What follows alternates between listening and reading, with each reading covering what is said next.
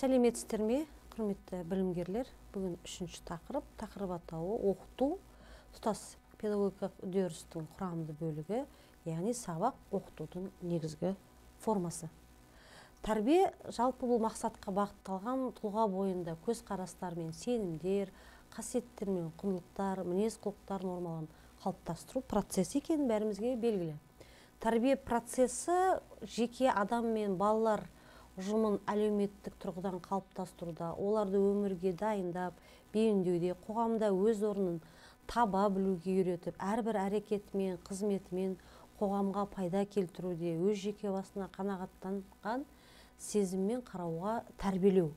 Тәрбие процесінің құрылысы өз ерекшеліктеріне байланысты алдын ала қойылған мақсаттар. Тәрбие мазмұнын соған негіздеу оларды іс жүзінде асыруда тәрбиенің формалары мен әдіс тәсілдерін объективті мүмкіндіктермен сонымен қатар ең соңында жеткен жетістіктерін қорытындысын белгілейді. Тәрбие процесінің ерекшеліктері тәрбие процесі жеке тұлғаны қалыптастыруда мақсатқа бағытталған үрдіс. Тәрбие процесі тәрбиеші мен тәрбиелеушілердің тиімді өзара әрекеттесуі ынтымақтастығы. Тәрбие процесінің көп факторлығы объективті және субъективті болып келеді.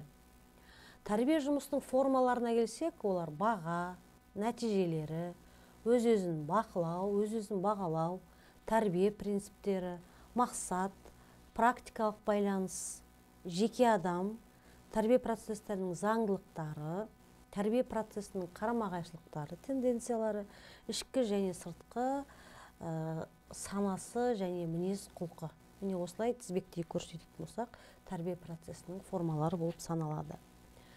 Педагогикалық процесс ерекшеліктеріне тоқталатын болсақ бұл белсенділік пен қатынастың бірлігінен тұрады. Әртүрлі функционалдық яғни қызметтік мамандандыру субъектілердің өзара әрекеттесуі қызметтесуі ынтымақтастыру деп айтуға болады. Атрибутивтік және педагогикалық процестердің жиынтығы. Сонымен педагогикалық заңдар әлеуметтік экономикалық мақсаттылық екі жақтылық сипат оқушы мұғалім іс әрекетті ұйымдастыру ұжымды дамыту жас ерекшеліктерін ескеру жекелей дербестікке пікір алмасу. Яғни білім беруші мен білім алушының арасындағы тікелей тиімді өзара қарым қатынас жасау. Мақсатқа нәтижеге жетуге итермелеу ең соңында тиімді мақсатқа жету білім алу білімді қабылдау білім беру процесі. Тәрбие процесінің заңдылығы қоғамдық құбылыс ретінде тәрбие заңдылығы мен жеке тұлғаның даму заңдылығына тән.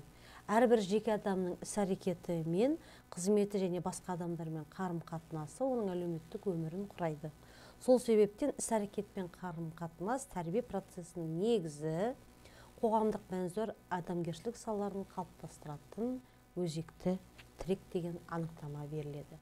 Тәрбие мен өзін өзі тәрбиелеу бірлігін процесінің бесінші заңдылығына айтатын болсақ бұнда тәрбие процесінің мазмұндамасы қоғамдық ортаның объективтік және субъективтік факторлармен тығыз байланыста болатындығы тәрбие процесі заңдылықтарының бірі болмақ. Яғни бүгінгі заман талабына сәйкес тұлғаға бағытталған өзара іс әрекеттер білім беру үрдісі. Латын сөзінде бұл форма деген тысқы бейне сырттай көрініс қандай да нәрсенің құрылымы дегенді аңдатады. Оқуға байланысты форма екі мағынада қолданылады. Оқу формасы оқу ұйымдастыру формасы. Оқу формаларына тоқталсақ жеке дара топтық толық сыныптық ұжымдық жұптастық дәрісханалық дәрісханадан тыс сыныптық сыныптан тыс мектептік мектептен тыс яғни білім беру мекемеден тыс немесе білім беру мекеме ішіндегі деп айтып атап көрсетуге болады. Білім алушылар немесе оқушылар әрқилы мүдде мақсатқа орайласқан топтарда оқиды тәрбиеленеді. Ұжымды топтық сабақ түрлері өз ішіне дәріс баян семинар конференция олимпиада оқу саяхаттары және іскерлік ойындарды қамтиды. Даралықты ұжымды дәрістер пән тақырып жұмыстарын толық шомылдыру жинақтау погружение дейміз. Шығармашылық апталары ғылыми апталар жоба курстық диплом жұмыстар осылардың бәрі тәрбие процесін құрастырады. Енді біз бүгін сіздермен үшінші тақырып аяқтаймыз.